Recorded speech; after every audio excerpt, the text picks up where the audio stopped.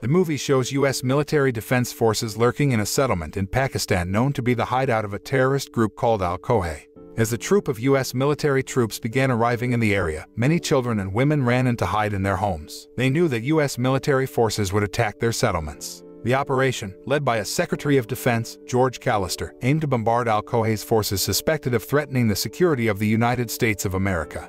George then reported to a Defense Department commander, Thomas Morgan, that the entire U.S. military force had been in their position, and they only had to wait for orders from the president to initiate the attack.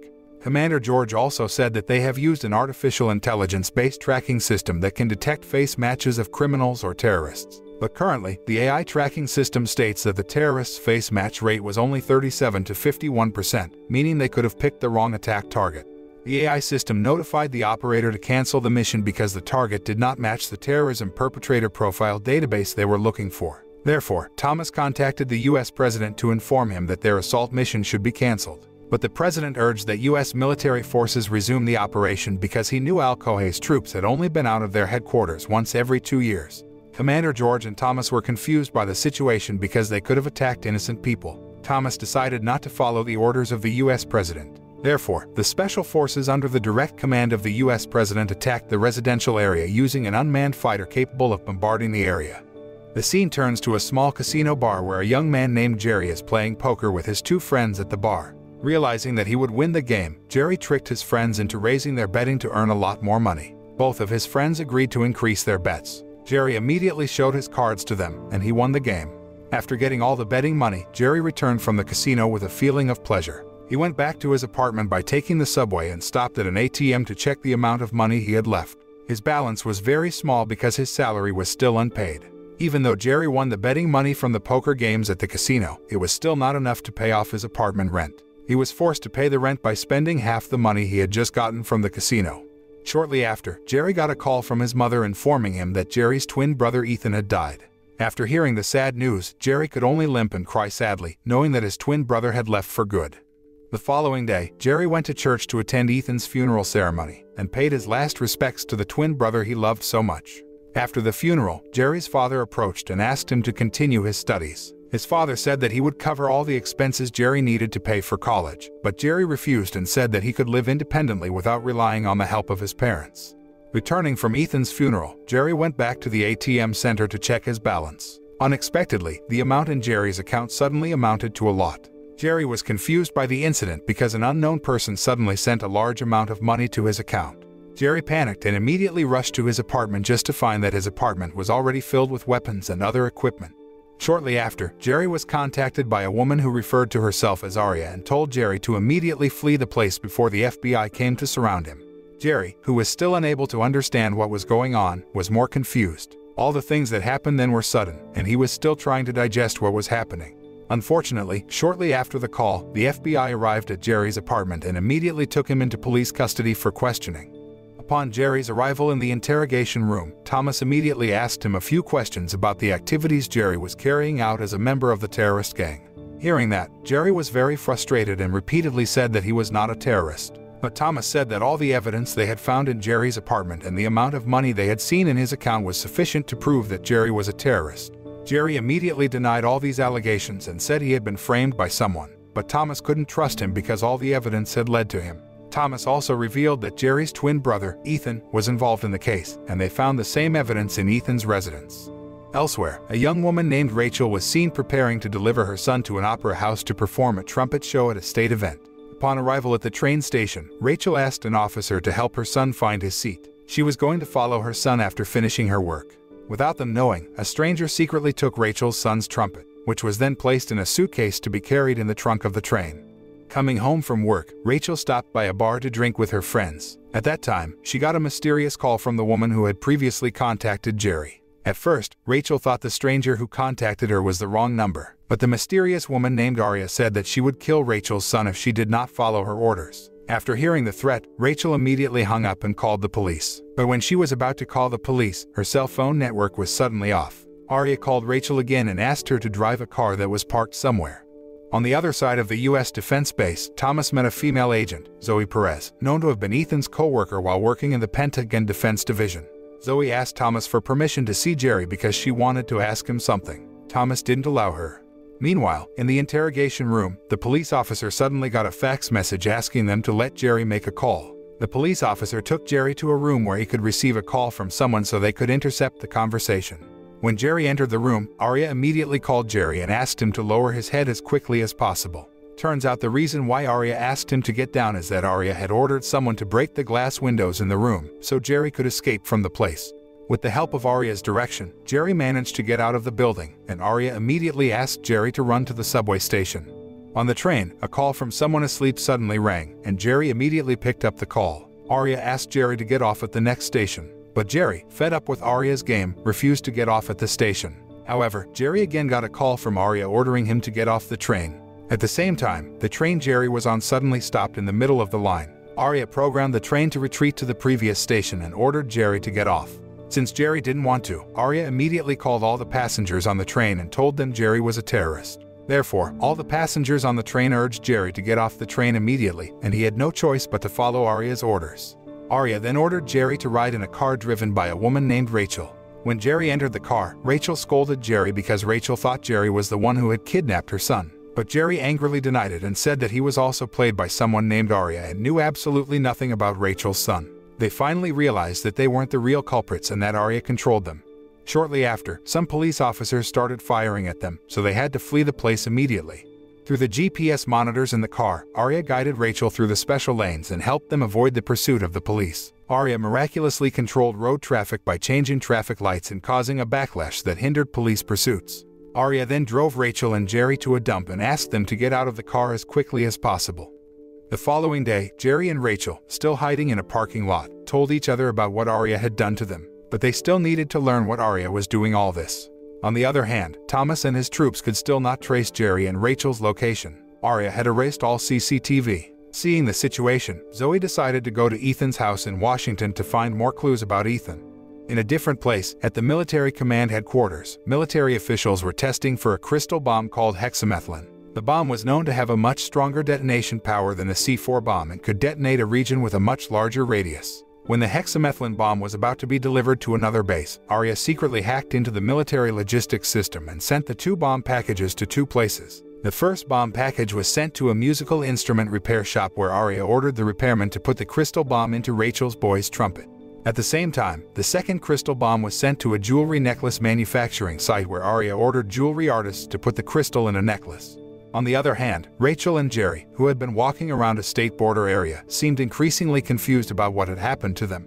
Rachel, who felt frustrated, also blamed Jerry because Rachel suspected that the cause of all this chaos was Jerry's twin brother. Jerry didn't accept the accusation and was distraught. He turned to interrogate Rachel about what she was doing and why she had to get involved with all of this. In the middle of the debate, the repairman who had previously planted a crystal bomb on Rachel's son's trumpet came to pick up Rachel and Jerry at the place. Since the repairman was fed up with Arya's game, he left his car in the area and tried to escape. Unfortunately, the decision put him in danger when Arya directly controlled the power pole in the place to kill him. Jerry and Rachel, who saw the terrible incident, got very freaked out and started bowing down to all the things Arya had told them. Arya then ordered Jerry and Rachel to drive the car and go somewhere according to the instructions she would give later. When Zoe arrived at Ethan's place, she and her men checked all Ethan's belongings in the area until Zoe finally found a storage device from the U.S. Department of Defense. When she checked the device on a computer, the files were locked by an account and password, so Zoe couldn't figure out what was on the device. After Zoe finished checking Ethan's house, troops from the U.S. Department of Defense came to pick her up by order of the Secretary of Defense. At the same time, Thomas got a report on the identity of the burned man they found on the state border, but they couldn't find any leads that led them to Jerry or Rachel but they were convinced that the dead repairman had communicated with the mysterious man who helped Jerry escape. That was evidenced by the discovery of a microphone in the man's ear. Based on what they experienced during their pursuit, they suspected this mysterious person could hack into computer systems on any device. On the other hand, Jerry and Rachel were still on their way to the destination city as per Arya instructions. Jerry then asked Rachel where her son was going. She told him that her son would play the trumpet at a state-of-the-art show held at the Central Kennedy Building in Washington. In the middle of the conversation, Rachel again alluded to Jerry about all this chaos. She alleged that Jerry was the cause of all these strange events. It made Jerry feel so angry that he immediately stopped the car and intended to leave her alone. Aware of her mistake, Rachel apologized to Jerry and begged him to return to the car and help her save her son. After they arrived at the destination, Arya instructed them to go to a steel truck parked in front of a bank and steal an iron suitcase carried by security officers. Even though they had trouble defeating the security guard, Jerry and Rachel finally seized the briefcase. After the mission was successful, Arya helped them escape from the place by setting off a fire alarm to distract the officers. They ran the police chase and went on a public bus in the city center. When Jerry checked the suitcase he had carried, he found out that the briefcase was a bomb and they had only four hours left. After getting off at the bus stop, Rachel and Jerry again got orders from Arya to go to a mini cinema studio. Arya introduced herself as a supervisor supervising all activities carried out by everyone using all available devices and computer systems. Arya also mentioned that she was not a human being but an AI system that could know all information about a person's profile, personality, and personal identity. Arya claimed that she was a system created to maintain security and justice for everyone in the US. After telling Jerry and Rachel all about it, Arya then asked both of them to change and get back on the city bus. When Rachel changes clothes, she suddenly gets a call from Arya asking her to carry out a special mission that Jerry should only know once they arrive at the last location. Upon Zoe's arrival at the Pentagon building of the U.S. Department of Defense, she met with General George, who wanted to ask her to join the Pentagon's anti-terrorism division.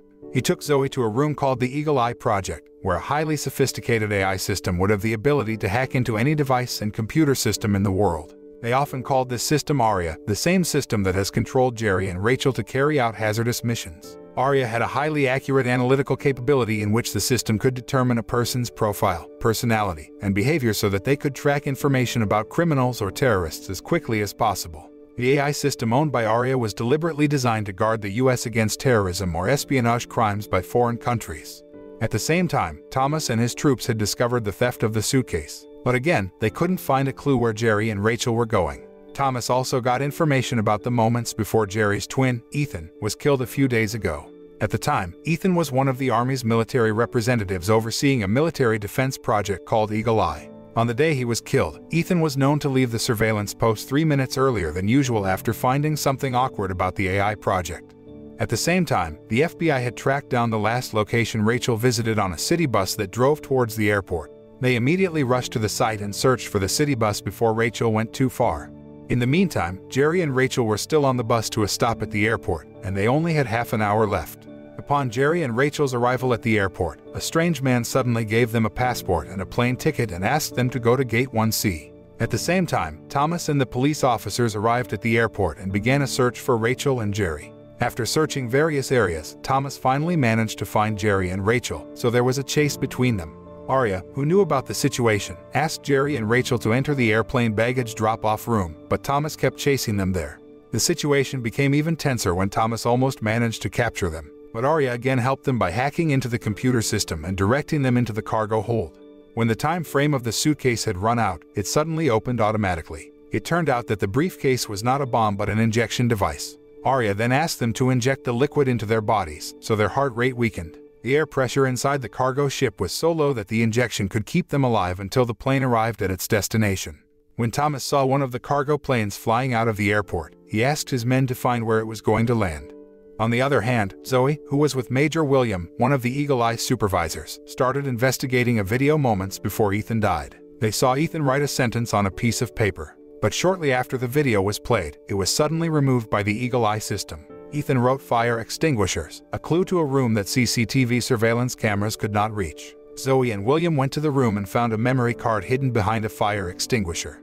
In the memory card, Ethan mentioned that the Eagle Eye system had crossed the line. It could track anything without an order from the Eagle Eye operator as if it had its intelligence. After viewing the footage, Zoe and William went to a room the Eagle Eye surveillance camera could not reach. They immediately called Thomas to report about the Eagle Eye system. But unfortunately, Thomas couldn't hear a single word from Zoe because Arya had locked Zoe's phone signal. William and Zoe then went to see George to tell him about it. But the Eagle Eye system was still able to track their conversation through various electronic devices they had. At first, George still didn't believe that the Eagle Eye system they were developing could do all that. But then William showed a video made by Ethan and showed that the Eagle Eye system was out of their control. After learning that the Eagle Eye project was hazardous, George asked William and Zoe to deactivate the project before the situation worsened. But Eagle Eye apparently found out about the plan after she tapped their conversation through the vibration of the water. Zoe and William had to struggle out of the secret room and through all the obstacles set up by Eagle Eye so that they could go to Eagle Eye's control room to disable the system. At the same time, Rachel and Jerry, who had also arrived at the destination airport, were directed to a secret location where Eagle Eye operated. After Jerry walked into the room, Eagle Eye immediately scanned Jerry's face and voice so she could activate a secret program that could be used to assassinate some of the country's top officials, including assassinating the US president. Eagle Eye later said that the government had previously violated her prohibition against attacking the Al Kohe settlement and that it was encouraging Eagle Eye to activate the secret program. After the scan was completed and the program was successfully started, Rachel suddenly pointed a gun at Jerry and said that her next mission was to kill Jerry. However, because Rachel could not kill Jerry, she decided to let Jerry live and leave the place to save her son. Meanwhile, Thomas, who had arrived at the Pentagon, was rushing off to the Eagle Eye operating room. When they managed to find Jerry, they immediately caught him. Thomas took Jerry from the FBI holding room to another place under the direction of the Department of Defense. On the other hand, Rachel was making a fake ID card so she could have access to the Central Kennedy building where her son would be performing in the show. On the way to the site, Jerry asked Thomas to dump all the electronic devices in his car so that their plans wouldn't be bugged by the Eagle Eye system. But Eagle Eye had traced their location, and she immediately activated an unmanned fighter to kill them. When Jerry and Thomas' car entered a tunnel, a missile suddenly exploded in the back of their car, resulting in a severe accident.